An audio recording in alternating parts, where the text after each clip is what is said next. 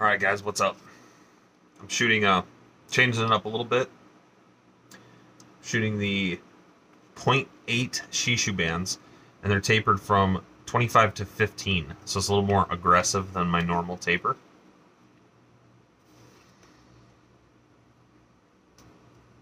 I'm also shooting these SimpleShot pouches, which are awesome, by the way, with the shiny side where the ball is, so the rough side is out. I don't know if other people do that, but if you don't, you need to start because that rough side's awesome for grip. I'm also shooting 11 millimeter steel. It's a nice big ammo. Shooting at that little spinner right there. I'm taking 10 shots for you. See how we do.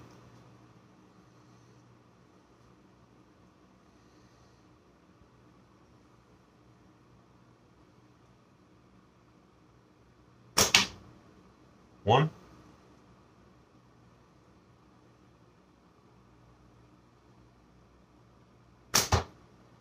Miss.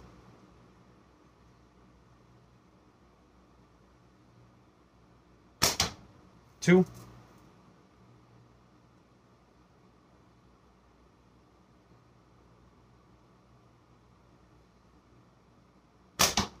Three.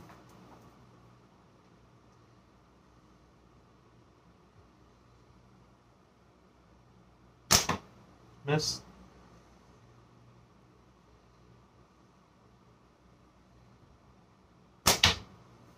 Four.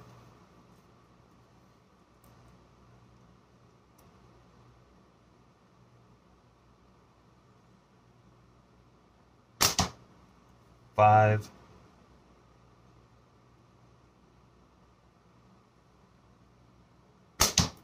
Six.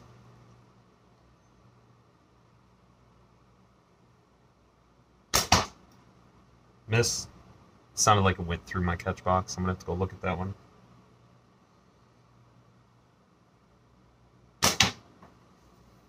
Seven. Awesome. Seven out of ten with 11 millimeter steel.